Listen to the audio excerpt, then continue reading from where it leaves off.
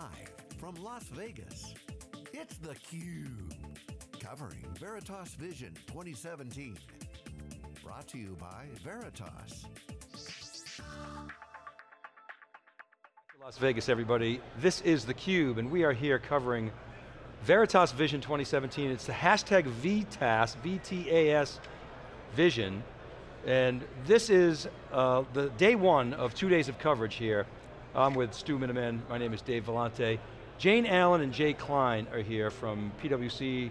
Uh, Jane is a partner and principal, and Jay is a partner. Folks, welcome to theCUBE, good to see you. Thank you. Thank you. for having So. PwC, uh, leading uh, uh, uh, global consultancy, I would say one of the top three, four, easily, top two, maybe even top one, Yeah. right? I mean, you guys are gold standard for global, you solve problems that most people can't even begin to touch except for a handful of companies, so.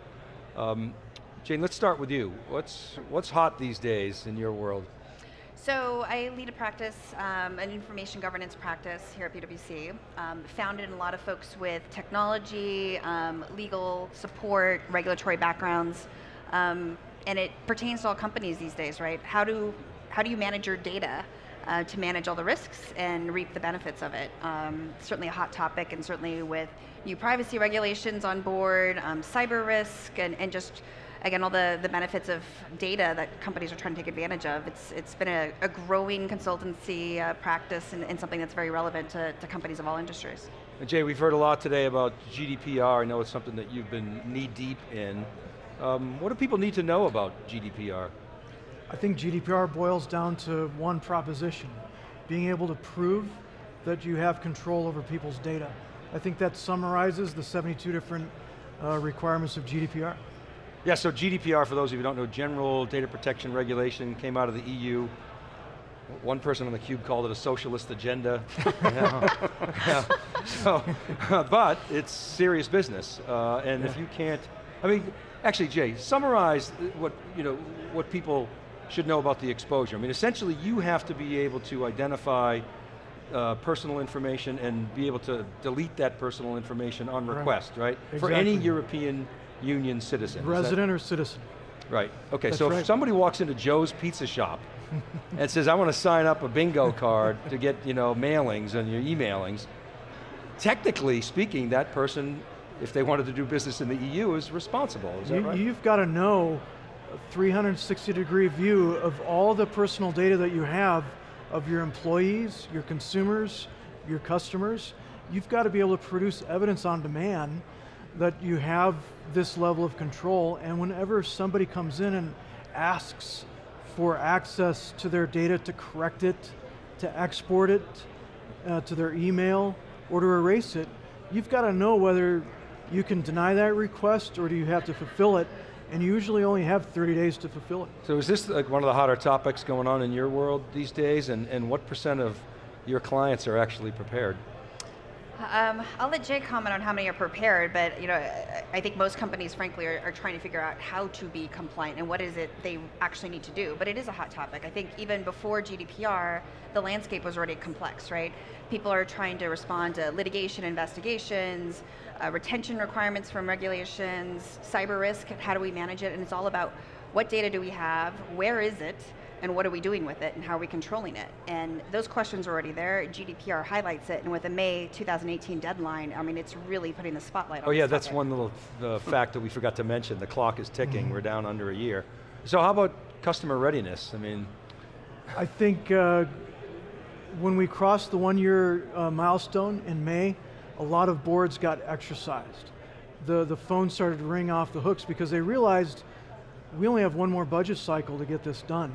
And so now I think they're realizing that because GDPR hits the tech stack and the IT budgets had already been planned for, the release cycles had already been uh, put in place, they're now starting to ask, well, we can't get everything done by next May. What are the most important high risk things that we do need to get done? And, and there's going to be more spillover work after May, I think. yeah. I think this highlights something that was already pres present in terms of the need for cross-functional senior leadership to pay attention to this, right? This isn't just a legal or privacy topic. It isn't just an IT topic. This really hits across organization and these folks need to work together. Yeah. Jane, could you help us kind of up level a little bit? If I look at information governance, you mentioned it's super complex. You know, every company I talk to, they're deploying more and more SaaS. In the keynote this morning, Veritas said most of their customers have at least three clouds. We find, you know, absolutely it's the strategy, especially if I start, start, oh, well, just different groups start using things, then how do I govern it? How do I, do I even worry about security and backup and everything like that? How does this fit in the overall picture for most customers? Well, I, I guess that's what's interesting, right? There's no one right way of doing this, right? And so it depends on your business, your industry, your customer base, your geographic location and outreach um, and the data landscape. And you have to make smart decisions of what works within your corporate business culture even, of what is it that we need to keep and how we need to keep it and enable you know, our engineers, our, our users, our customers to leverage data, but also manage our risks. And there's just not one way to look at it, but again, it goes down to really knowing what control you have, what you have, and where is it, right? But it, that's what's interesting is for every company to figure out how is the best way for them to tackle it. So who's driving the information governance bus these days? I mean, with Sarbanes-Oxley, it was the CFO. With, with the federal rules of civil procedure, it was kind of the general counsel. Who's really sort of in charge today? Well, I mean, depending on who owns it in an organization, looks mm -hmm. a little mm-hmm. different, usually legal and or privacy, and, and oftentimes they are within the same group. So, so a chief privacy officer, yep. um, general counsel obviously in, involved, IT. Sometimes the compliance mm -hmm. office, again, okay. depending how that's structured, but generally in that legal compliance privacy mm -hmm. right. realm. Okay, and, and, when I think about some of those previous you know, generations, uh, SOX in particular, but also, I guess FR, CP, um, there was an, an effort within company, because the, the, ROI was just like, oh, we got to do this. It was like, okay, what does it cost to not comply? you know, yeah. they, they, would try to thread that needle. Mm -hmm. But there was always a faction that said, hey, we can, and, and consultancies were part of this, we can actually get value out of this. It's an opportunity to clean up your data, um, uh, maybe to get rid of stuff, maybe you can reclaim some wasted space or, you know, et cetera, et cetera. Is that the way it is today with with GDPR, and maybe we could unpack that a little bit. Yeah, one of the first steps that you have to take for GDPR is to discover where all of your European personal data is. So data discovery effort. And in doing that, we've had a number of clients that for the first time, they've really put together a view of how they make money using data. And they're finding data, their chief marketing officer is finding data they didn't know they had. And so now they're able to monetize that data if they can use it responsibly within the privacy regulations of GDPR. So marketing is oftentimes funding, helping IT and legal fund their GDPR efforts. And I think one of the other benefits is if you have to go through this exercise to be compliant, but then you get additional insights in your data and you know where to invest more for those additional business opportunities, then at least hopefully you're, you're reaping again more ROI off the effort. Well, I know the clock's ticking and there's a sort of virtual gun to organizations' heads, but, but getting into that whole value notion, monetization, uh, most organizations that we talk to, they just, they don't really have an understanding of how data fuels monetization. Not necessarily monetizing the data, but how mm -hmm. it mm-hmm. contributes to monetization. Mm -hmm. What do you see in the customer base? This is the biggest area I think where GDPR is going to morph after May of 2018. I think um, the companies that can protect their exposure to this regulation by going through the same processes to find out where their data is, they are positioned to monetize that data to, to um, take advantage of new market opportunities in Europe in particular. Okay, um, and by the way, we should mention that this actually, the, the law is in effect, it's just the penalties aren't being right. uh, invoked at this point in time, right? right? So there was this year, one year grace period.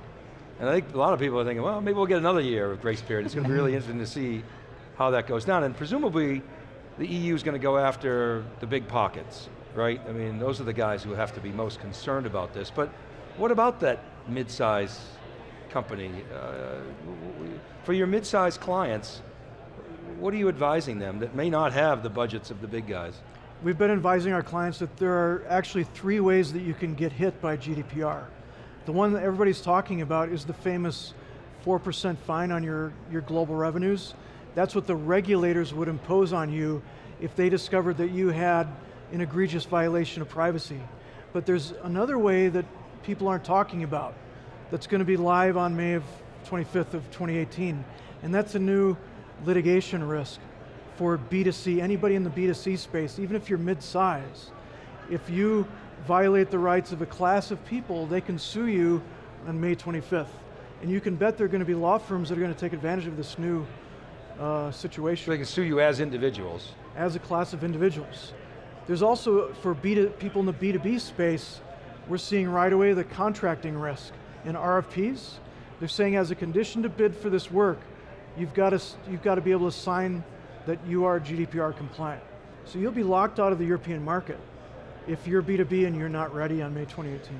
So we were talking off camera, and I was sort of Yeah. struggling with trying to understand the direct fit with technology, Jay, and I thought you Mhm. had a good answer. So what's technology's role in, in all of this? I mean, technology, can it, can it help us get out of this problem?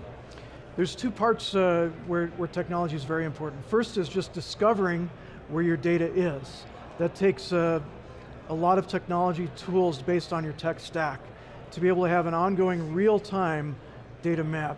But the other one, the harder part, is responding to these individual rights requests to ask for where their data is, to correct it, to delete it, uh, to have that 360 view of individuals throughout your information environment, I think that takes IT to a new level. It hits all parts of the, the tech stack. Right, because an individual can essentially say, I need to know what you Yeah. know about me, right? That's part Well, of it. the transparency. exactly, and a lot of these um, companies that collect customer data and structured systems, they weren't really built for this type of exercise to go through and search for something and actually dispose of it. And so companies are having to think very tactically, okay, can, can I do this across all my different systems? And then certainly in unstructured data stores, again, what's there and how do we figure that out? Yeah, so in the keynote this morning, we heard about GDPR. It looked like there was the, I called it the doomsday clock, what, what was up on the wall. Uh, can you bring back, you know, how's Veritas doing? How are they helping customers with information governance and, and GDPR? Well, I, I think one of the, the really exciting things that they demoed and talked about there um, is some of the data scanning or data profiling information, um, whether it be the classification or reporting out in terms of what is in this unstructured storage. Again, in order for companies to figure out what it is that, they need to do process and technology-wise is, well, what do we have out there again? And they're giving and enabling customers with some of their tools to be able to get some insights there, um, which I think is really transformative. I think people have been talking about these things from a, either a legal discovery standpoint, certainly a cyber risk, and I think this is just really adding on. So again, these tools help enable all of them, but certainly for GDPR. You, you have to get this first step right, the data discovery and classification, because if you scope GDPR too big, your compliance costs are out of the, through the roof. But if you scope it too small, your exposure is too big. So having a good discovery and classification approach is critical to the success of your GDPR program. Has the industry solved the classification problem? I mean, for years, you really Mm-hmm. struggled to classify data. You could classify, you know, maybe data in an email archive, but data became so distributed by its very nature. Has that problem been, been solved? I would say no, but I've, I've certainly seen a huge uptick in companies actually finally just biting the bullet and, and getting themselves organized. But again, at least doing it because, hey, we need to figure it out for GDPR and privacy, we need to figure it out for cybersecurity controls, we need to figure it out for uh, e-discovery, um, and just regular records management, how long we need to keep things. And so I think they recognize, wait, this satisfies a lot of different needs, but I, I don't know that there's an easy solution to it either. And the best practice uh, organizations have automated that presumably, because otherwise it's not going to scale, right? I mean, Uh, in the long term, that's what they're seeking, right? But you need to get the structure right. So you need to have file plans and organization of the information that makes sense to your employees and the way you do work, and then hopefully tie that back, knowing the data lifecycle to be able to classify things based on role, based on access, based on data type. Um, so there's a lot of upfront work, but ultimately that's the so that's a taxonomical exercise, is that it right? is. Or- That's okay. a fancy word. but that's a heavy lift. And then, and then it changes. It is, it is, but I think, um, again, there's multiple benefits to that. Um, and, and then Sure. going forward, you've got things in order for all those reasons. Um, but it, you can leverage the power of the technology and then your, your functional groups and, and what work they do. People know what work they do, how long it generally needs to be kept, and if you kind of can marry those two things from the business, the technology side, you can get set up in the long term. And then you can automate the policies around data retention. Exactly. And like, uh, uh, what now, what's your relationship specifically with uh, Veritas? Well, um, you know, they're a, a, a client of ours, um, but we're also a client of theirs. So, Okay. um, I, I guess we're friends on a, a number of different angles and whatnot, but our practice tends to, or uh, we are technology agnostic in general, but we definitely want to stay on top of the different leaders in the industry. Um, so that when we go to our clients, we can recommend, hey, these are the top two or three that we believe can help you based on your situation, based on your data landscape, and be able to advise in that regard. Um, so Veritas, between the backup tools, their e-discovery, and certainly some of the things they're doing on you know, information governance and, and GDPR, um, certainly one of the, the key providers that our clients should consider. So. So, I- I've sort of set up this discussion with, with a little background of PwC, and clearly one of the leading consultancies out there. Um, I would point to your global footprint, your deep industry expertise, your, you understand technology, um, you've been around, you know, you've got you know, deep relationships. So other than those, what's the big difference? You know, why, why PwC? And you can repeat some of those if you want, probably be more articulate than I was, but. I think one thing that's different is what we call the end-to-end approach, where there might be other companies that have some of the qualities that you've talked about. But uh, with GDPR, it hits across five to 10 different budgets in an enterprise. And we'll take a company through a transformational journey across all of them. We have auditors, and we have lawyers and technologists, forensic scientists. GDPR really hits across all the functions of the enterprise. Because of our scale, we can, we can hit all of these, whereas other providers will take different slices of that. I, I would also add, you know, PwC looks at our clients as forever clients. We're not looking for a one transaction and see you later. I mean, we look at them in terms of we want to be a firm that supports and partners them, whether it be on the consulting side, audit, tax, whatnot. Um, and so we look at that that way in terms of trying to support them. And maybe that's just one point solution, maybe it's broader, but we'll bring the right experts to the table that fits for that client. And so we always want to think about it that way. While we might have ways and approaches that we leverage, hey, if they've got a specific need or specific, specific specialty, we'll bring the right experts to the firm. So that. that's, that leads me to like my last question, which is, so it sounds like GDPR, and, and, and Jane, in the context of that answer, is not just a tax, tactical sort of pain relief project. Is it part of you know, more strategic digital transformations? Are you able to make that connection, or is, are people just in too much of a rush to fix No, the pain? uh, Jay and I were talking about this earlier today. I mean, I'll, I'll use the example of um, some of the, the cloud transformation that companies are going through, right, if they haven't already, and thinking about their data and how they operate differently, and wait a minute, we don't need to forklift all our data over, let's think about it, and oh, by the way, let's make sure we're compliant with GDPR, right? So there's a number of different ways that you can kind of pull in different pieces that are, that are helpful to clients. Um, I, I think there are a number of different aspects to that that we were talking about. So um, it's certainly something front and center, but it, it's it's not a, a one-time let's check the box and move on exercise either. But. Awesome. All right, we got to go. Thanks very much for coming on Thank theCUBE. you. Thanks, Good to meet you guys. All right, keep it right there, everybody. We'll be back with our next guest. It's theCUBE. We're live from Veritas Vision 2017 in Las Vegas. We'll be right back.